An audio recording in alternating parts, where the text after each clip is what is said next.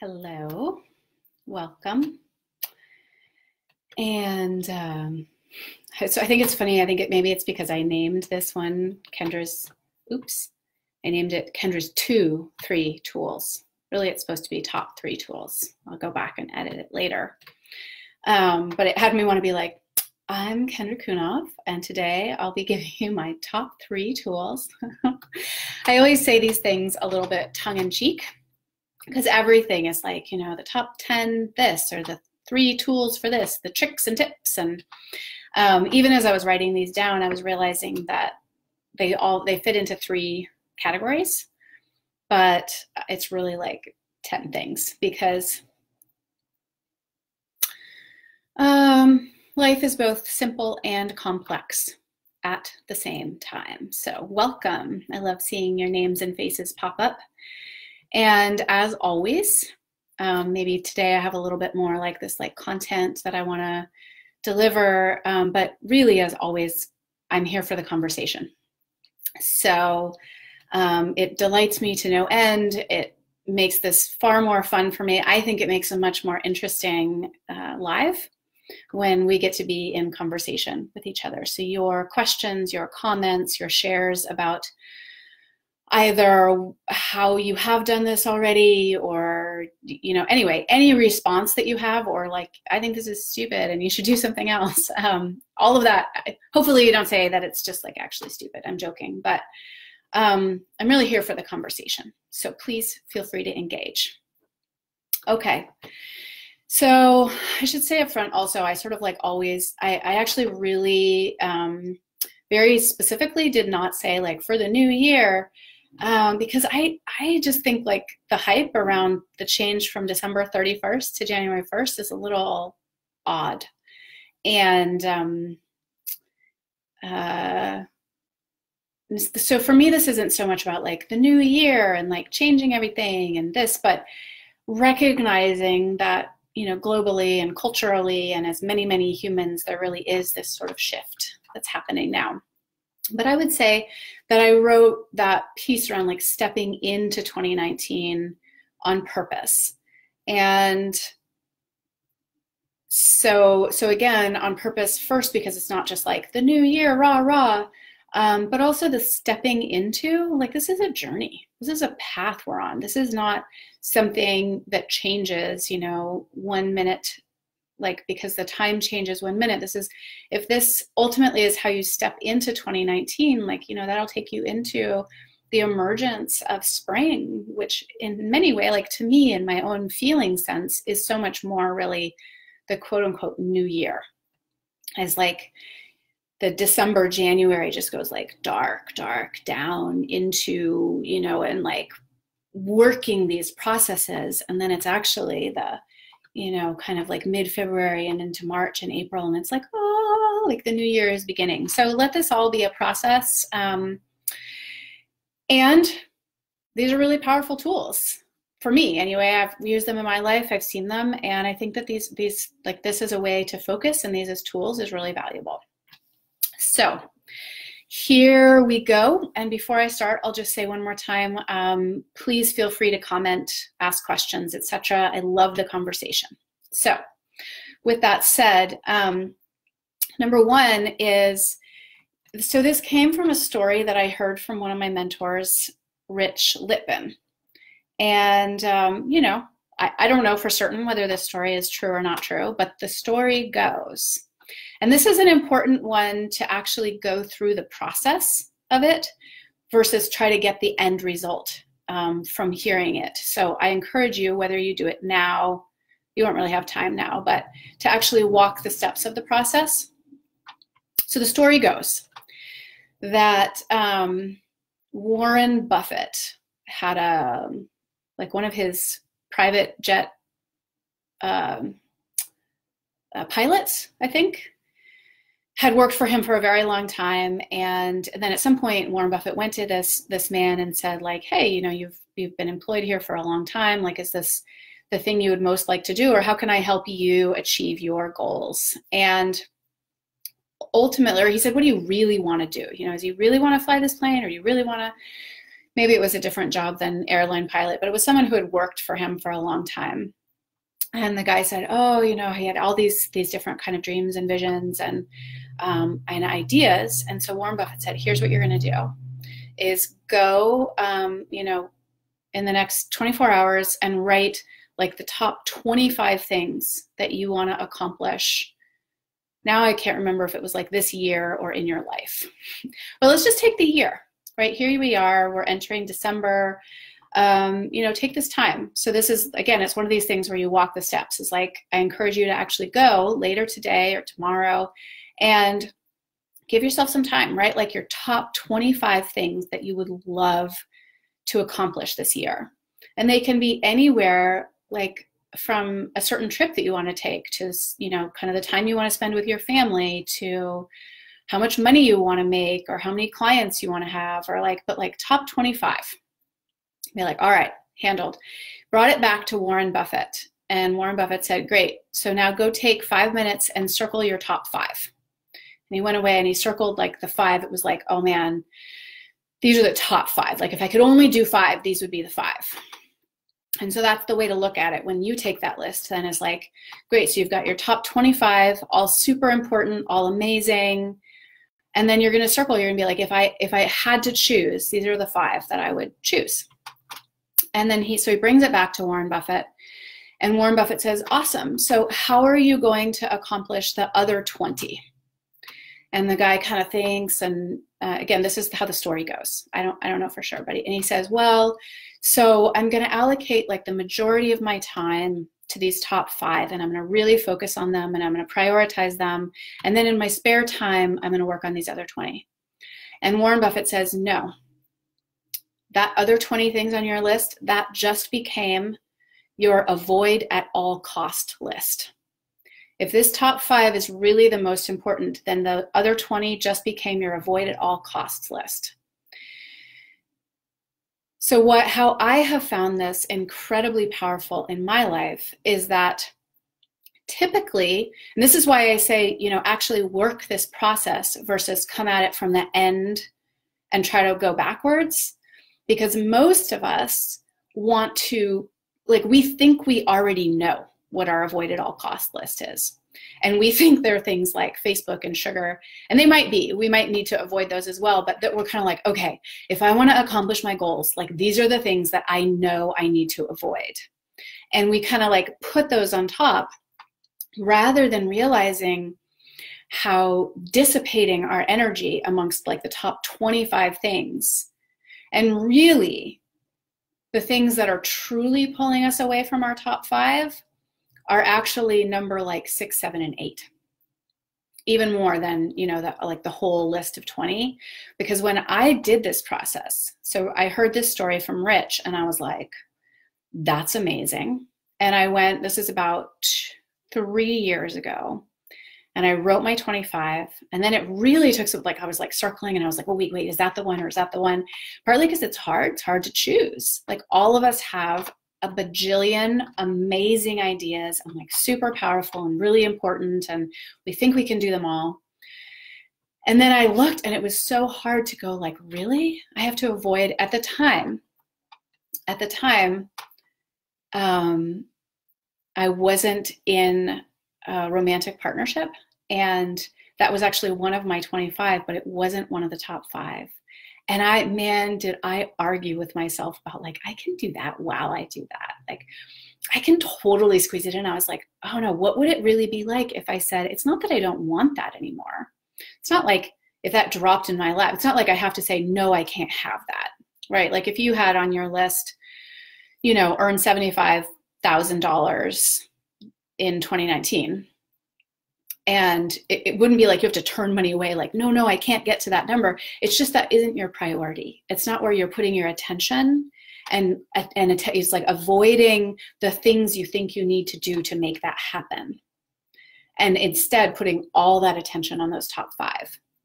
And it really was um, it was like an intense struggle in the moment to imagine really setting that down and then it became incredibly liberating. I was like oh i can let go of all the like things that are going on mentally internally emotionally maybe physically like uh, going on a dating site or like all of that. It was just like this is not my priority this year. It doesn't mean i can't meet and fall in love and you know end up in the most amazing partnership but that's not one of my top five. And really being honest with ourselves about that. So so that's tool number one is this is this specific iteration of an avoid at all cost list that goes with this story about Warren Buffett and your top 25 things, choosing the top five, and then making the other 20. Like, actually, you have to be aware, right? Oh, when is my attention going to giving a little bit to that little thing? Like, oh, I could kind of make it happen. Making that your avoid at all cost list. Number two, so this is one of those ones where I ended up sticking a bunch underneath it. So I'm just going to label number two uh, feeling. And because there's a couple, there's three aspects to this, but to uh, uh, the tool, and I didn't actually say this at the beginning, but I put like a boss. Like for me, that's also tongue in cheek. I'm like, I don't even know what that means. but I just like I hate you know the like six for success or you know to have blah blah blah. Like I kind of makes me want to throw up in my mouth. So I put like a boss because um, at least I can laugh at it. So there's something about this idea of like stepping into 2019 like a boss, really being empowered, and I believe that that starts with um, putting our attention actually on how we want to feel versus what we think will make us feel that way.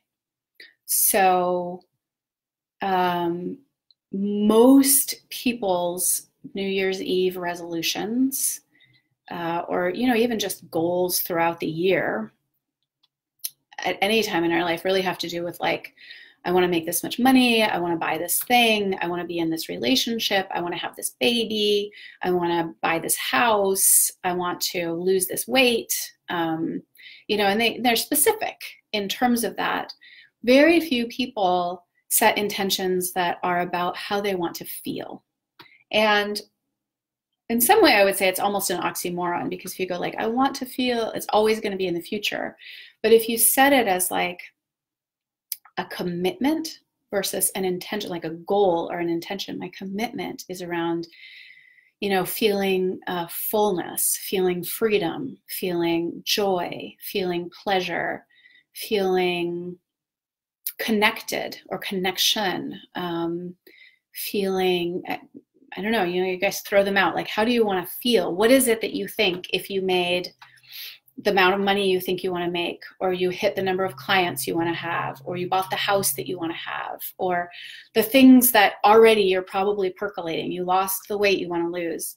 That you're thinking, like, all right, so this is going to be my New Year's resolution. Like, whatever those things are, what is it about that? Like, I want to feel healthy, or I want to feel comfortable in my body. Um, I want to enjoy moving. I want, um, I want you know, for me, there is a piece I'm, I'm putting like a strong commitment and intention and um, a lot of my like attention and intention is around buying a home.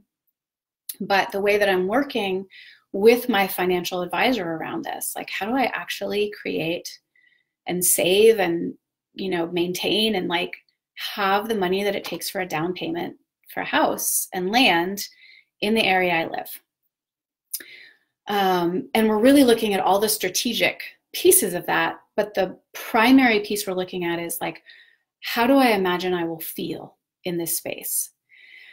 And it really comes up like, is this piece of like spaciousness, boundlessness, like ease, relaxation? There's different pieces, but I'm that's where I'm putting the majority of my attention is like, oh, that.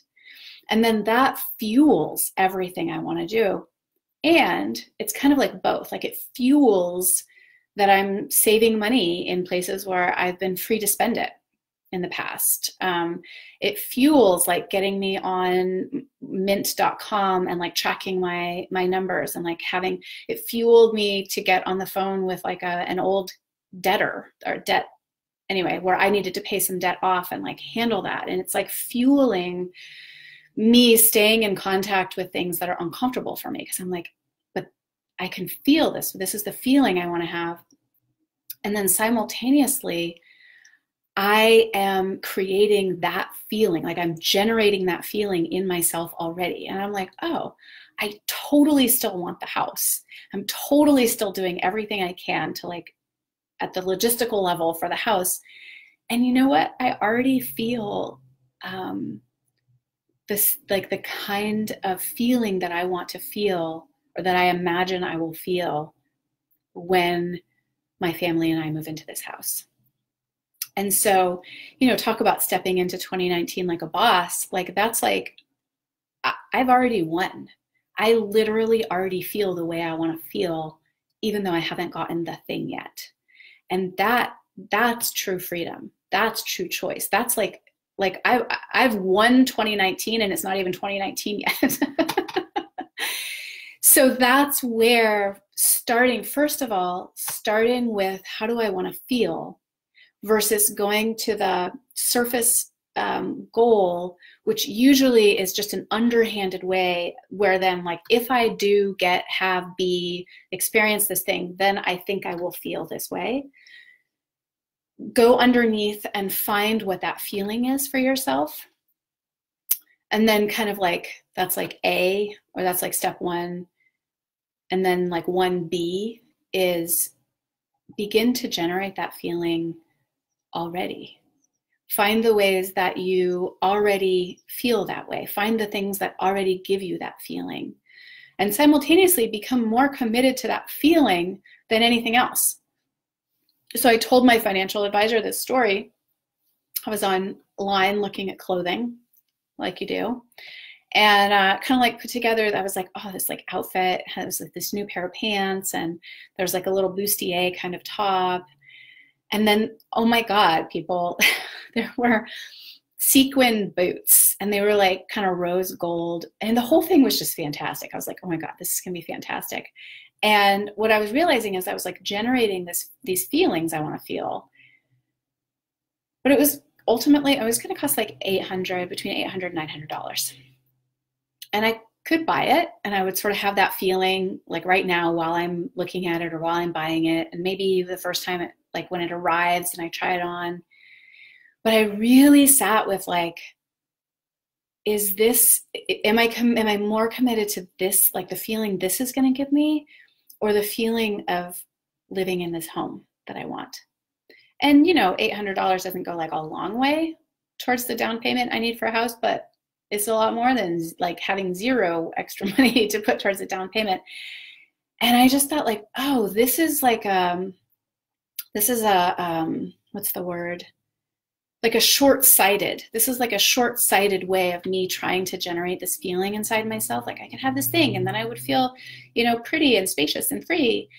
Or i could take this $800 and put it in this account and with like the it's like the long-term commitment to not like the goal of the house although that's true also but more like like oh no i'm committed to really feeling this way.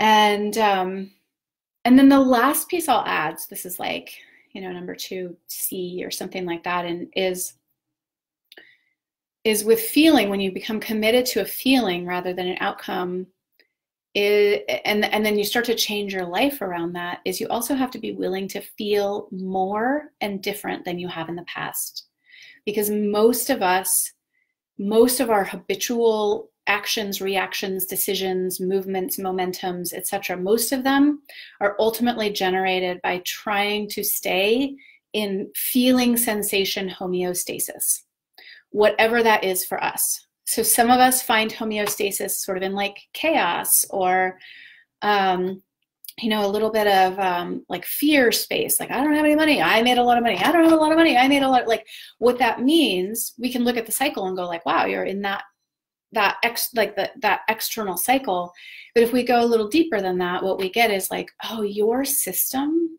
or my system finds comfort like that's homeostasis for you that's what you imagine. That's how you know how to be you is in like a boom or bust and a kind of anxiety and creation.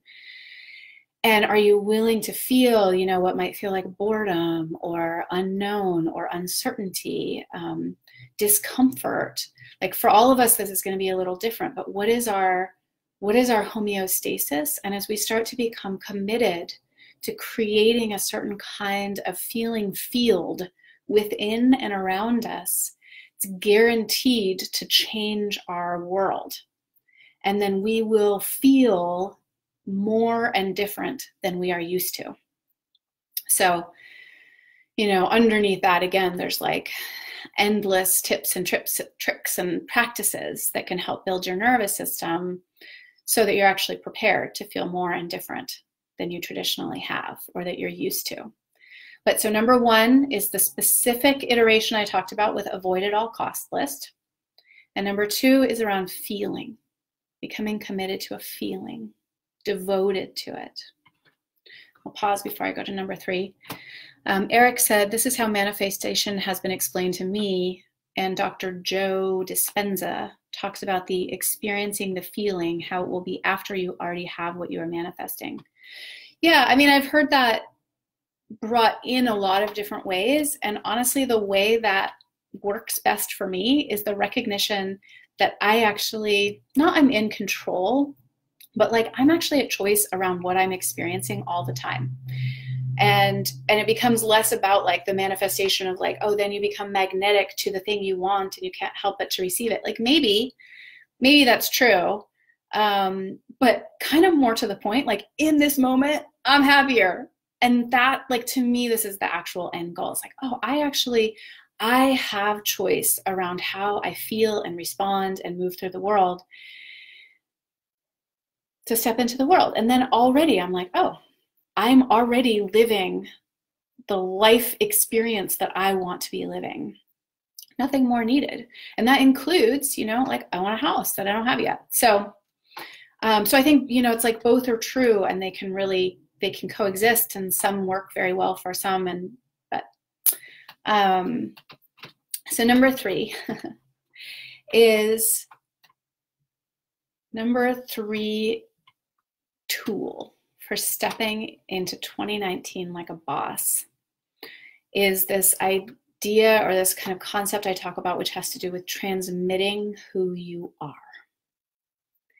And there's a lot of layers to this. Like, first of all, like, who are you? Who am I? You know, it's like, do I have to know that or figure that out? Um, and there is an element that some of that has to do with like actually getting deeply connected deeply enough to yourself that you do know what that is. But the transmitting you is it's all it, i mean and it's in its broadest sense first of all is that it's recognizing that you're always transmitting something. I absolutely believe like everything in the universe is made of energy and some energy is more like manifest in form than other right? And our our physical being has a fairly strong like form manifestation but it's it's all energy and we know that something like 75% of communication is nonverbal. And i don't believe that that's just like you know quote unquote body language. That's it it, it we ha- it just it's because our being transmits. And then it's how consciously do I want to, am I willing to transmit the truth of who I am? And some of that can come in the form of, you know, like, you know, start making Facebook Lives and literally like transmit the being and the belief and the sound current of you, like, like transmit it.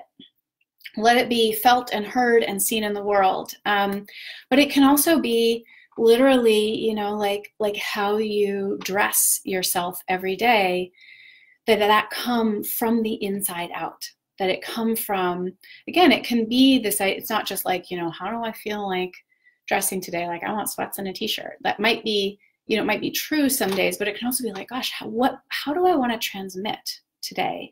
And that's very different than like i have to wear a suit and tie because the quote unquote over culture whether that's the overculture of your company, the overculture of the city you live in, the overculture of Western America, you know, like white America, whatever you consider to be the overculture says, I have to wear a suit and tie.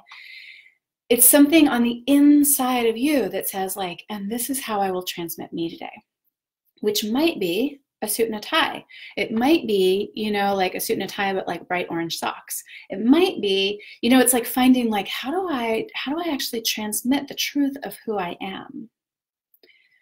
And there's a, there's like a, it's not a caveat. It's like something that sits right beside it. I wrote myself this note in the shower this morning that was, that said, um, don't require anyone else to change in order for you to transmit you. Now, that doesn't mean like, you know, don't pay attention to your impact. You know, if you're like on a street corner with a megaphone and people are like, ah, you know, I mean, have a little awareness and consideration for, you know, how you're transmitting yourself over a megaphone. Um, but again, like this idea of like, well, you know, people will look at me funny if I wear that. Like, that's you deciding you're unwilling to feel how you feel when you think people are looking at you funny because you're wearing something.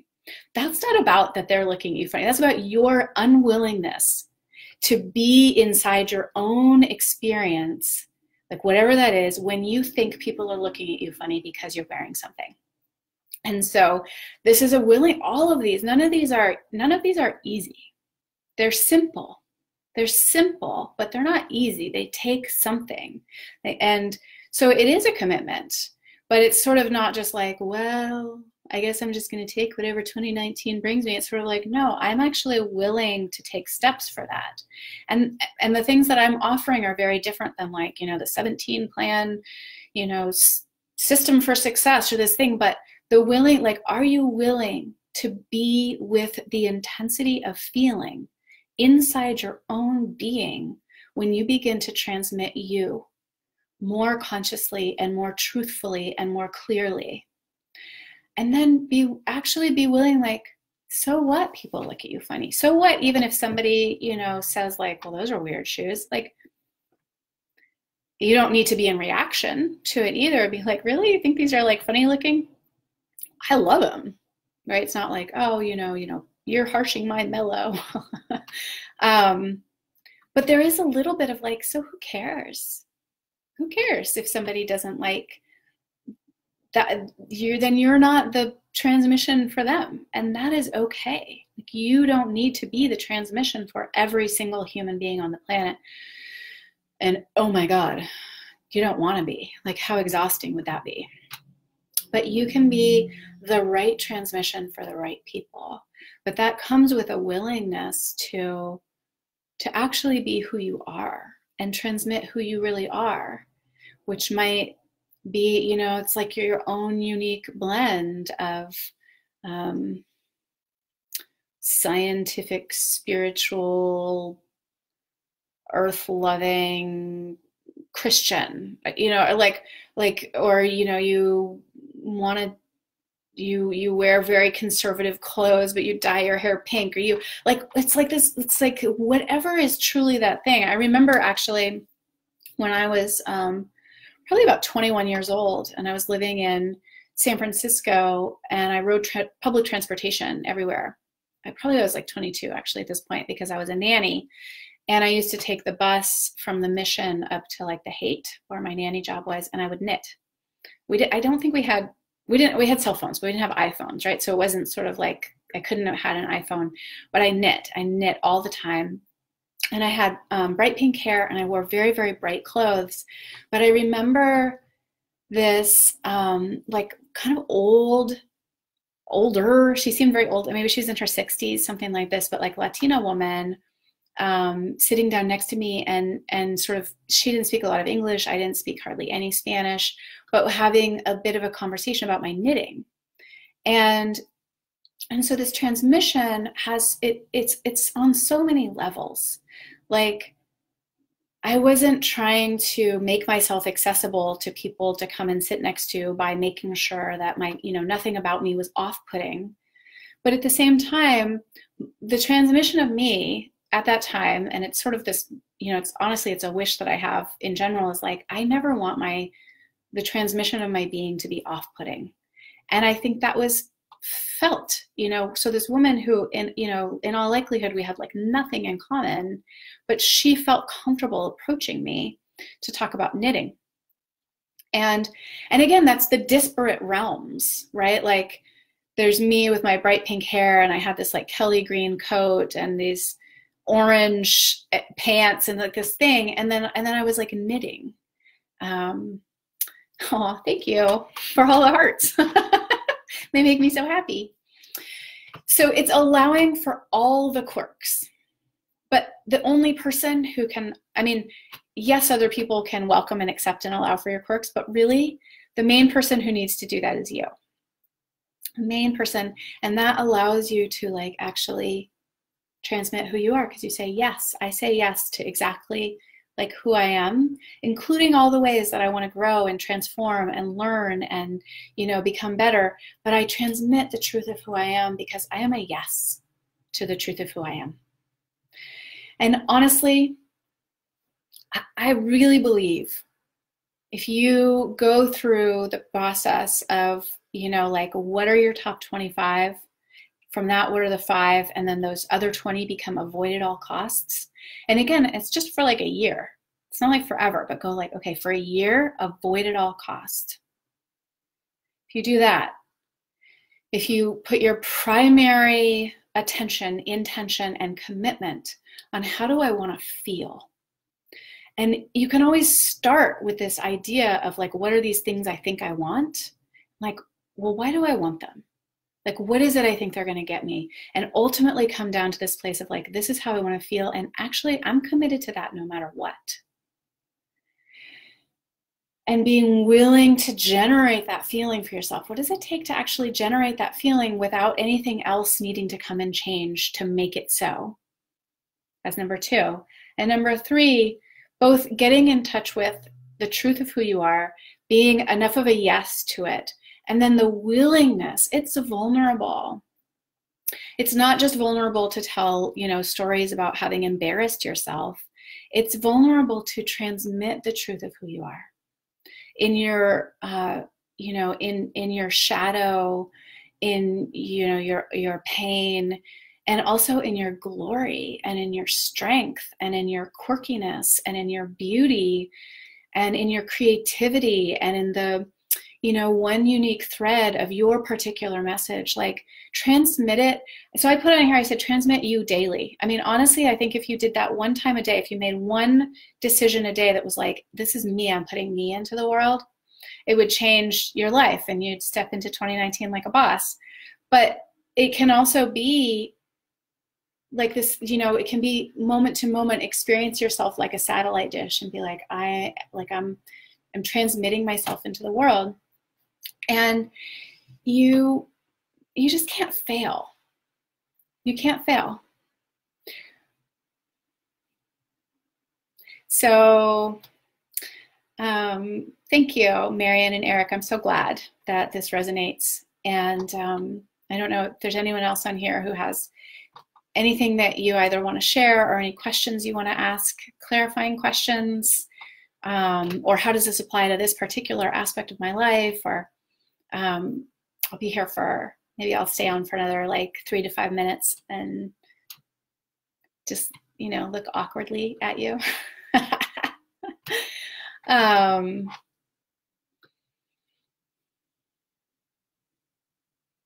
but the truth is that the reason you can't fail is because if you do these three things, you will have already succeeded beyond the acquiring or the experiencing or the you know even manifesting of right? Like like you you will already have succeeded beyond the specifics of anything you could say that you want or need in order to succeed. If you actually do this like you, you you're just living your life as having succeeded already and everything else every it, everything else is like miraculous everything else is miraculous so Um, you're so welcome, Eric. I'm so glad that you appreciated it. It's very rewarding when people like what I have to say. um,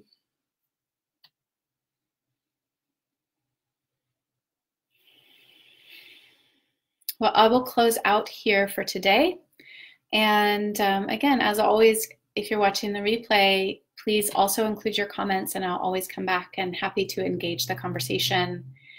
And um, I just wish you, you know, really everything that you most deeply desire. Um, and I wish you a really wonderful, like, December, the darkening of the year. For actually, it's not true for everybody, um, but here in the Northern Hemisphere, that's happening. And I think it's a beautiful time. So I hope you enjoy it. Ciao.